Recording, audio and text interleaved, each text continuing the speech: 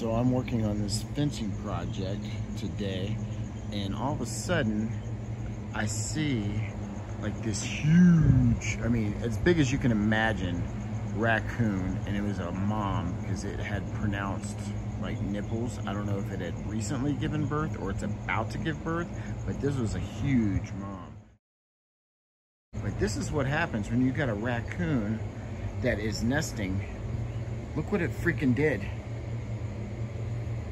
I mean, Jesus, this thing is like tearing apart our freaking furniture. So, yeah, this thing's done. Probably just give it away on Facebook or whatever. But damn, I didn't even recognize it was doing that until obviously too late. But yep, that's what a raccoon will do to your furniture when it's nesting and trying to take care of its young ones.